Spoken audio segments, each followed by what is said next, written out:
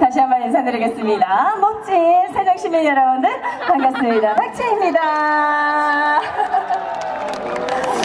어, 오늘 굉장히 힘이 불끈 나는 것 같아요. 예. 우리 멋진 오빠들이 많이 계신 것 같아가지고. 우리 오빠들이 이 자리를 떠날 수가 없는 건가? 그 가운데 알지? 어. 그러니까 한쪽으로 쏠려 있으니까 무게중심이 이렇게 가는 것 같아요. 이렇게 올 수 있어요, 가운데로? 힘들어요? 그럼 그냥 거기 있어.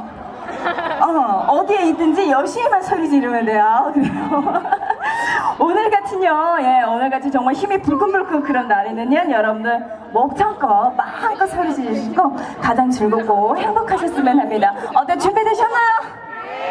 자기를 좀 힘이 불끈하셨어요? 아 좋습니다. 이 에너지 몰아서 요즘 박주희가 활동하는 곡입니다.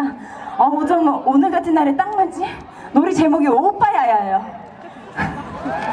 어 미안해. 어, 템포가 맞아야 돼. 노래 제목이 오빠야야예요. 아유 그렇지. 아유 감사합니다. 오빠야 보내드릴 텐데요. 예 오늘 좀 사랑스럽고 애교 있는 여러분들의 어, 박수와 함성이 나오면 박주희의 댄스가 조금 애교 있고 예, 좀 섹시하지 않을까라는 그런 생각이 합니다. 어때요? 오빠랑 한번 다 같이 가볼까요? 예, 우리 언니들은 가장 상큼하고 애교 있는 목소리로 예, 함성을 질러주시면 됩니다. 예, 가장 애교 있는 목소리는 어떤 소리일까요? 연습해봐야 돼. 자, 오빠야 보내드릴게요 하면은 하나, 둘, 셋 하면 아, 자신이 낼 수 있는 가장 어, 큐티하고 예쁜 소리를 내시면 됩니다.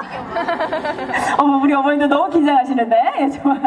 자, 다 같이 한번 재밌고 큐티하고 섹시한 소리 하나, 둘, 셋. 오빠야! 박자가 안 맞잖아. 예, 소리를 낼 때, 그치?